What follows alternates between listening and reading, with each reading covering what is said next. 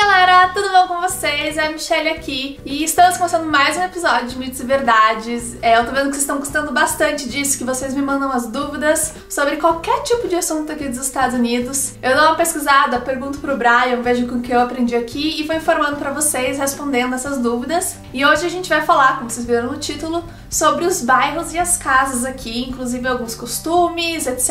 Teve várias perguntas em relação a esses dois temas, então eu juntei pra formar um vídeo inteiro sobre isso. Eu espero que vocês gostem, então vamos começar!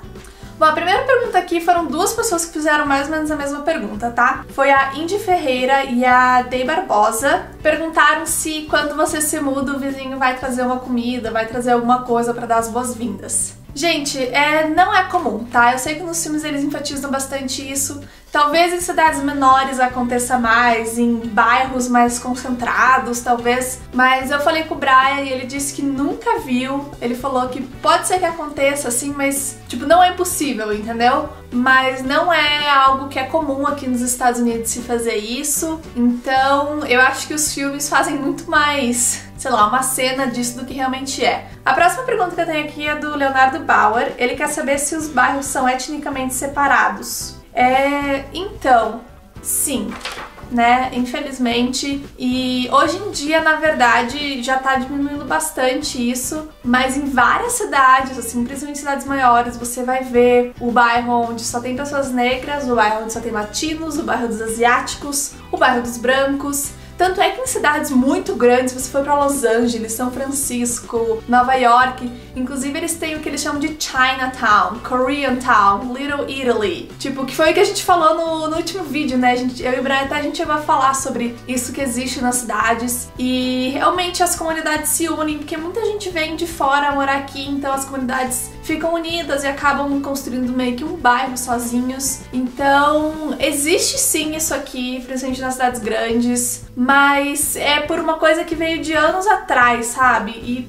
e aí continuou. Não é. Eu não vejo que é por uma questão de discriminação. Começou como discriminação, principalmente entre negros e brancos, né? Há 50 anos atrás, a gente sabe que a situação aqui não era fácil quanto a isso. Então formaram sim os bairros separados, mas hoje em dia só que ficou assim, entendeu? Tipo, já não é tanto forte do porque os negros não podem morar nos bairros dos brancos. Hoje em dia já não tem mais isso não tanto, tá? É só acabou ficando desse jeito. Bom, a próxima pergunta também duas pessoas fizeram a mesma pergunta. Então, o Rafael Pedro da Silva e o Thiago Leite querem saber se as muitas casas aqui têm a bandeira dos Estados Unidos lá de fora. A gente tem, tá? Dependendo de onde você for nos Estados Unidos, você vai ver mais ou menos. O Brian falou que seria em torno de 30% das casas tem essa bandeira para fora. Mas, por exemplo, eu e o Brian não temos, os pais do Brian não têm, muita gente não tem, assim, é muito mais forte do que o Brasil? É. Eu acho que no Brasil o único momento que eu vejo a bandeira pendurada é na época da Copa do Mundo, né? Infelizmente. Mas é um costume que algumas pessoas têm aqui, você vai encontrar, inclusive em alguns estabelecimentos comerciais, você vai encontrar a bandeira dos Estados Unidos. É, uma, é um símbolo muito forte aqui no país, mas não é tipo você vai passar pelo bairro e todas as casas vão estar com a bandeirinha pendurada, tá? Não, é isso não.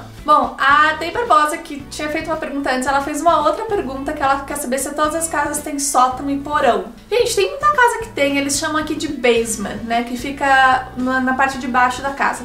Tem muita casa que tem aqui, sim. A casa dos pais do Brian tem. Alguns amigos do Brian têm casas que tem, mas outras casas não tem. A nossa, por exemplo, não tem. Então, é bem comum ter, tá? É uma coisa que você vai encontrar, pelo menos eu, assim. Muitas casas que eu fui tem mesmo esse basement. Mas não é regra, tá? Não é tipo todas as construções são assim. É só que é, é uma coisa comum realmente comprada no Brasil, que você vai encontrar as casas com sótão. Bom, a próxima eu achei genial. O Brian não soube responder, eu tive que dar uma pesquisada na internet, tá? Que foi o Vander de Moura Gonçalves perguntou se é obrigatório avisar os compradores de uma casa se ali houve um crime. Gente, depende do estado, beleza? É, a gente vê muito isso em filme, né? Que as pessoas vão comprar e daí eles falam, ai, alguém morreu aqui, os caras se mudam mesmo assim e morrem no final, né? É sempre assim. Tá, mas enfim, é, pulando essa parte, alguns estados você é obrigado a avisar se aconteceu alguma coisa no último ano, nos últimos dois, nos últimos três. Tem estado que você não é obrigado a avisar, é realmente vai depender do lugar em que você estiver nos Estados Unidos, é obrigatório ou não. Ok, a, a Márcia Cabral quer saber se é verdade que existem lugares ou bairros em que negros ou brancos são discriminados. Não. Eu até respondi isso mais ou menos na, última pergunta. Pode ser que aconteça em algumas cidades? Gente, acontece, tá? Discriminação acontece no mundo inteiro. Com certeza existem pessoas que discriminam aqui nos Estados Unidos também. Tem lugares que são um pouco mais fortes, tem lugares que não. Mas hoje em dia isso, assim, essa discriminação entre negros e brancos tá diminuindo, tá? Existem problemas, existem, mas não existe, como eu falei assim, ainda existe os bairros dos negros e dos brancos, mas se tem alguns negros morando no bairro onde tem a maioria branca, não é um problema, entendeu? É, dificilmente eles vão ser discriminados, principalmente em estados em que as pessoas têm a mente mais aberta, que realmente já não tem muito mais racismo. Então, assim, é, é aquilo, você vai encontrar. Mas eu não vejo, e o Brian também disse que não vê mais como algo muito forte aqui, sabe? Sei lá, é, não vou falar mito ou verdade, eu acho que é mais um mito do que verdade, mas você pode se deparar com alguma coisa com certeza, né, gente? Isso acontece no mundo todo. Bom, por último, nós temos uma pessoa que fez duas perguntas, na verdade, então eu vou ler separado e daí responder cada uma, tá? Então, Cadu Barbosa quer saber se as casas nos Estados Unidos têm triturador de alimentos na, nas pias. Tem, gente. Até agora eu não fui em nenhuma casa que não tenha triturador de alimento. A nossa casa tem, apesar que o nosso também é quebrado, então a gente não usa. Mas o nosso antigo apartamento também tinha, a casa dos pais do Brian tem, os amigos do Brian tem. Isso assim é tipo, tô pra ver uma casa que não tem, entendeu? Vai, você vai achar uma ou outra, mas é bem comum, é uma coisa que eles usam muito aqui e, enfim, sim, verdade. E a segunda pergunta é: e eles não possuem área de serviço e as pessoas são obrigadas a lavar roupas nas lavanderias? É, bom, gente, deixa eu explicar como é que funciona a área de serviço. É, eu diria que, tipo, algumas casas têm, tá, área de serviço, eles têm a lavanderia igual a gente tem no Brasil, que é tipo um quartinho, né, onde você tem máquina de lavar, de secar, tem um tanque, que você guarda o material de limpeza, etc. Tem casas aqui que tem, mas muitas casas eles têm apenas um espacinho onde tem uma máquina de lavar e uma máquina de secar. E geralmente tipo no armário, é um espacinho pequeno, não tem tanque, não tem varal, não tem nada, eles só usam máquina de lavar e de secar. Às vezes é ruim, né, porque tem roupas que a gente tem que lavar a mão e eu vejo que eu tô quase destruindo algumas roupas minhas porque eu não tem mais como lavar, a não ser na máquina de lavar e depois colocar para secar, a gente não tem varal aqui. Então, tipo, o Brian estava me explicando que isso acontece porque muitas pessoas querem aproveitar o espaço para outras coisas e não para lavanderia, entendeu? Não sei direito como é que funciona. E aí tem gente que não tem nada em casa e é obrigada em lavanderia. É, por exemplo, a irmã do Brian que mora em São Francisco, ela não tem. Muitos apartamentos de São Francisco não tem. E as pessoas são obrigadas ou a levar numa lavanderia, largar lá e ter alguém que lave para você, ou naquelas lavanderias que a gente vê no filme, que você vai e você coloca e você tem que ficar esperando, tipo, sentadinho, uma hora tal, e tem que pagar e etc. Então, todos têm essas três coisas. Tem casas que só tem só área de serviço, tem casas que só tem a máquina de lavar e de secar, e tem casas que não tem nada. E daí você é obrigado a ir pra uma lavanderia. Então, é isso. Espero ter respondido a sua pergunta.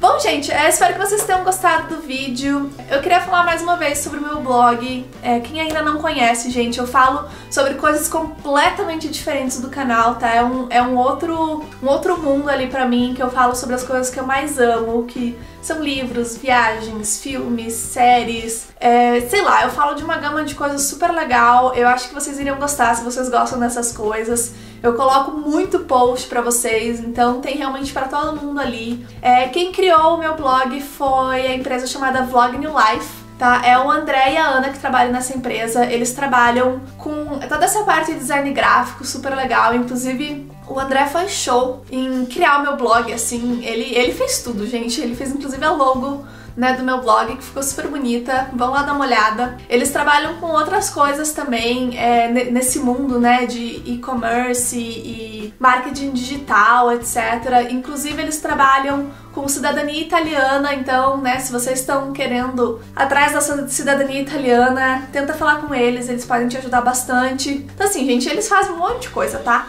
Eu vou deixar tudo na descrição pra vocês. Eles têm YouTube, Instagram, Facebook, site. Cara, eles têm, tipo, todas as redes sociais possíveis, então tá tudo ali embaixo pra vocês. Se vocês quiserem entrar em contato com eles, eles são um casal 10, gente, 10 mesmo. enfim, não esquece de ir lá no blog, gente, tá muito legal. Eu tô amando poder escrever tudo isso. Eu sempre gostei muito de escrever e tá sendo legal, assim, ter esse outro lado de, em vez de ter vídeo falando, eu poder escrever o que eu tô pensando, o que eu quero, minhas opiniões, etc. Eu acho que vocês vão gostar. Também tá na descrição, caso vocês queiram dar uma olhadinha, beleza? Então, um beijo pra todos vocês, vejo vocês no próximo.